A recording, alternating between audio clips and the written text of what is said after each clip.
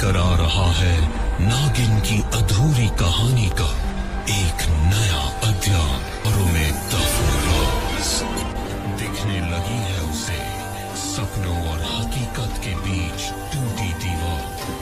करने आई है वो हर किसी को अपने वश में।